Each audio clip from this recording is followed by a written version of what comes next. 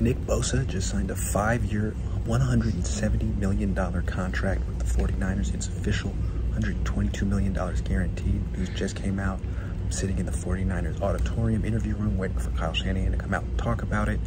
Seems like it's going to be a much less awkward interview than if he hadn't signed. We're waiting to ask him, where's Nick? Well, we'll find out if he's going to be here at practice today or tomorrow or the next day. We're Probably going to play week one five years, $170 million, 122 guaranteed. Again, here we are, waiting for Kyle. Let's see what he has to say.